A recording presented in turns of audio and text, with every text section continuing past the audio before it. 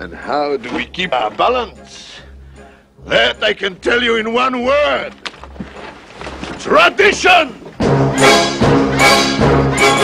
Tradition! Tradition!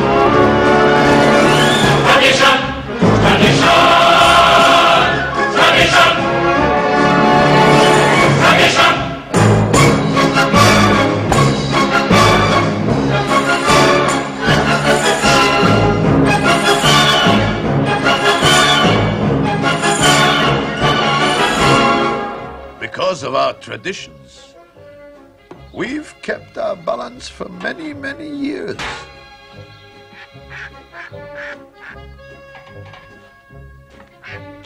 Here in Anatevka, we have traditions for everything. How to sleep, how to eat, how to work, how to wear clothes.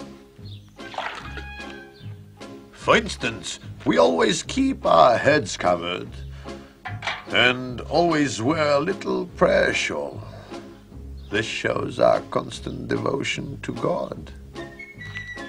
You may ask, how did this tradition get started?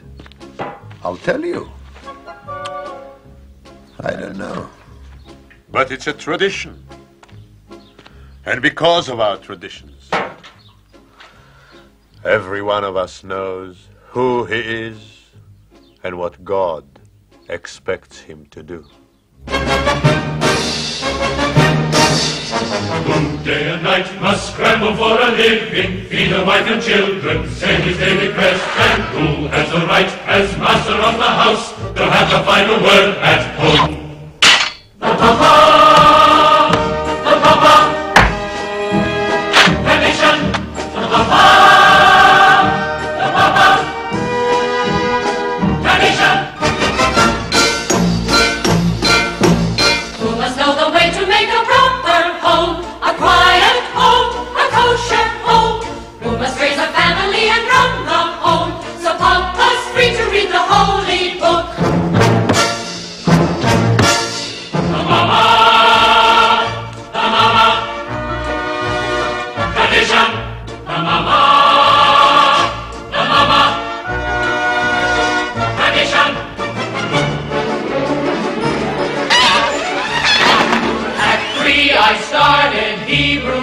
At ten I learned a trade. I hear they picked a bride for me, I hope she's pretty. And who does Mama teach? The mend and tend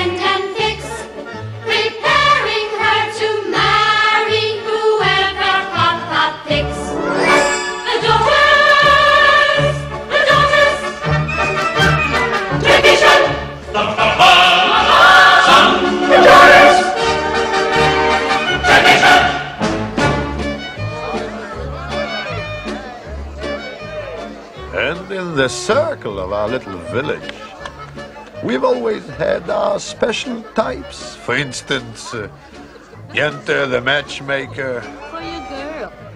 Reb Nachum the beggar,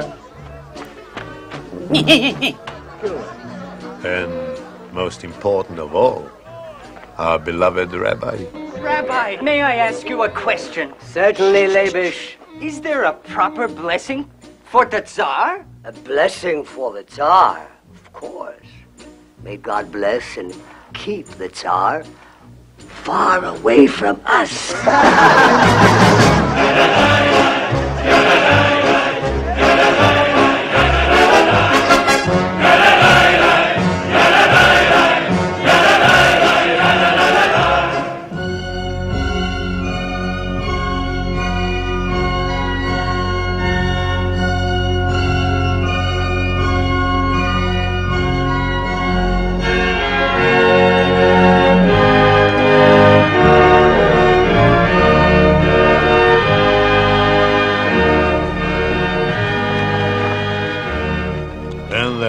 the others in our village.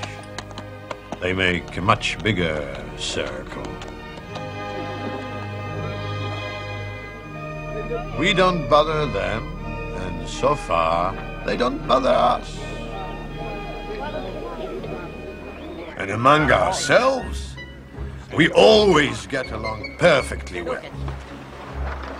Of course, there was the time when he sold him a horse and told him it was only six years old, when it was really twelve. But now, it's all over, and we all live in simple peace and harmony.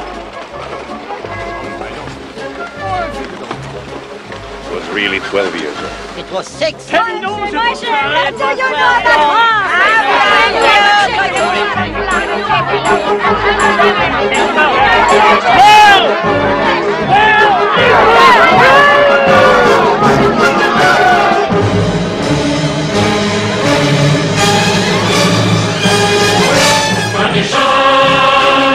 Tradition!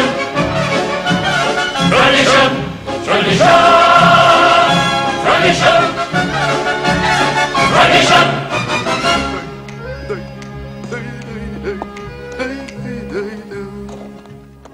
Traditions, traditions. Without our traditions, our lives would be as shaky as. as.